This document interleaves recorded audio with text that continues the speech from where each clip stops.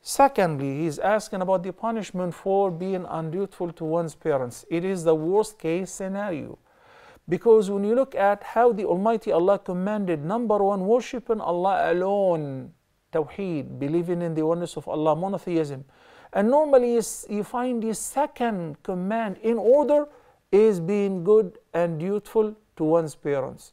وَاعْبُدُوا اللَّهَ وَلَا تُشْرِكُوا بِهِ شَيْئًا This is Tawheed. Then وَبِالْوَالِدَيْنِ إِحْسَانًا And be good to your parents. Then you find the Almighty Allah also says in another ayah in Surah Al-Isra, وَقَضَى رَبُّكَ أَلَّا تَعْبُدُوا إِلَّا إِيَّهِ So he declared that one should not worship other than the Almighty Allah. What is the second command in order? And to be kind to one's parents. The worst sin afterward will be the opposite of being dutiful to parents, which is being undutiful to one's parents. And the punishment is severe. It is enough to understand that the Prophet ﷺ prayed against a person who would be lucky enough to witness the life of his old parents and yet doesn't have an easy path to enter Al Jannah.